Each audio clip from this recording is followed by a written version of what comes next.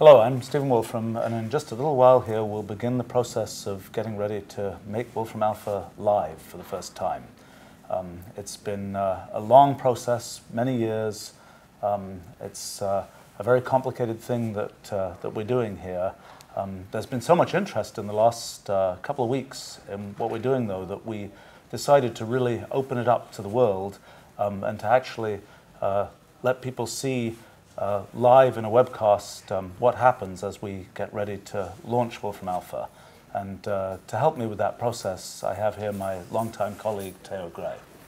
Yeah, this is really quite an unusual thing that we're doing. We're going to show you live on TV uh, the process of taking this very large, complicated software system running on thousands of CPUs in multiple data centers, uh, and we'll show you the moment and the process required to bring this live to the world.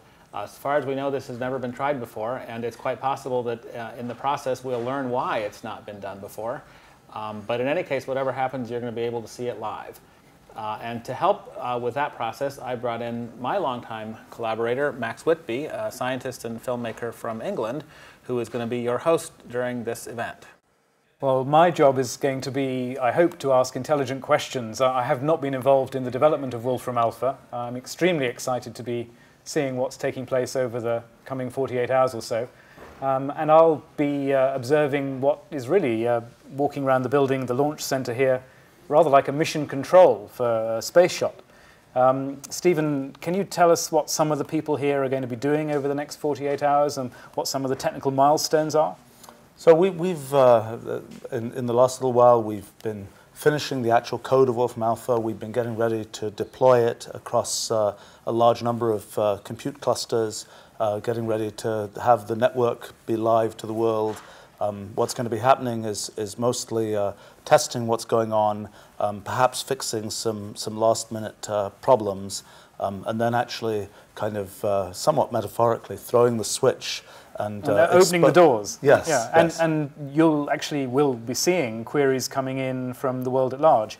Um, do you have any experience of that? I mean, has there been any large-scale testing that's taken place in the last few months? So we, we've simulated as much as we can about uh, what will happen when queries come in at uh, all sorts of different rates, uh, exactly what it might look like if, uh, if, we're overwhelmed with queries and the system starts melting down, what we think it will be like in kind of normal operation and so on.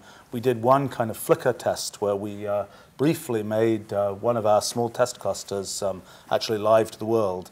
Actually, we were using that test cluster also to do a, another load test at the same time. And people but found was, their way in? To... It was, it was mm. quite remarkable. In a matter of about 10 minutes, uh, 3,000 people found their way in and uh, uh 18,000 queries uh, ran by in a very short amount of time. Actually, those queries are very useful. You'll probably see them uh, being replayed many times as we do final load testing, getting this whole system ready to launch. And Theo, I believe here in this building, we actually have one of the computational clusters that the Wolfram Alpha is going to be running on? One of the larger clusters is here, uh, 3,800 CPUs, I believe, uh, occupying most of the available power and air conditioning capacity of a fairly large data center.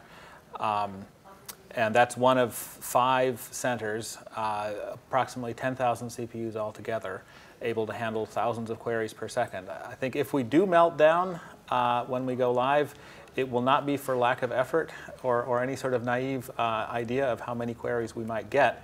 It will be because of overwhelming response. Uh, and hopefully we will, in fact, be able to handle the traffic that comes in. There's uh, about 150 people in this building, many steps that need to go right for the launch to be successful. What are you worried about, Theo? What am I not worried about? There are so many things that could go wrong in this process, from you know, software configuration. Um, it's a very intricate, complicated system. The servers could go down.